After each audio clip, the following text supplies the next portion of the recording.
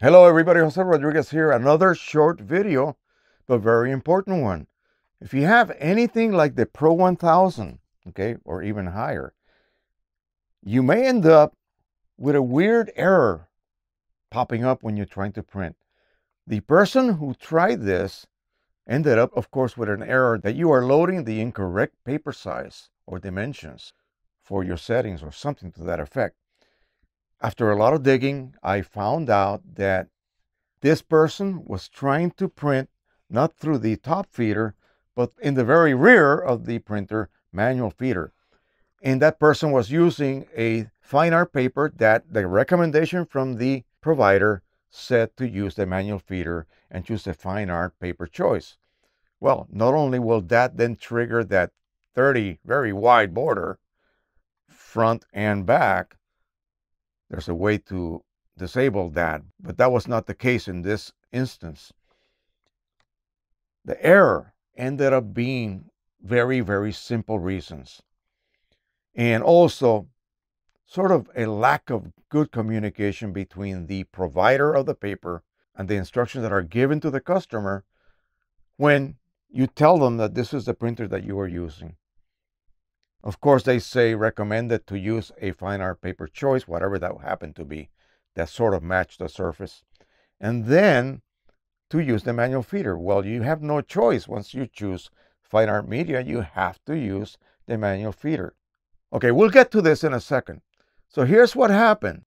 This person was trying to print to 4 by 6 You can't. You can't do that on the manual feeder. 8 by 10 is the minimal size that you can print using the manual feeder.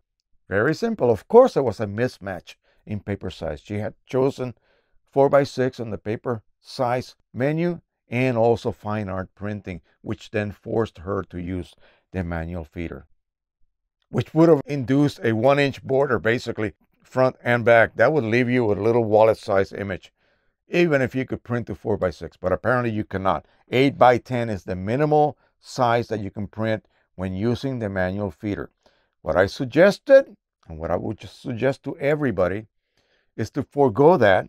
Do not use that recommended paper type. Look at your paper. If it looks semi-gloss or luster, pick that in your regular media drop-down menu. That will allow you to use this feeder and you will then be able to print 4 by 6 Now, why in the world would anyone want to use this beast to print 4 by 6s That one I just did not understand. It's simply not a very economical choice to make. This printer is meant for big prints, not little tiny prints. Get yourself a little desktop type job and use that for printing your 4 by 6s which apparently are not going to be that important you're not going to sell those. They're probably to be giveaway to folks here and there. You can use certain papers with it, but probably not the thicker type papers as they are too difficult to pass through the paper feed on such all-in-one style printers. Just take home messages again. Don't use this for little prints, especially when you're making 50 of them, because every print wastes a little bit of ink after each print. Okay? And so again, think of that 50. Yeah, that would not be economical. And you're using very little amount of ink per print anyway. So again, that ratio of waste versus income paper becomes a little bit too hard to accept. 8 by 10 size in the rear or manual feeder, as I call it. They call this the rear feeder. I call that the top feeder, which is on the top.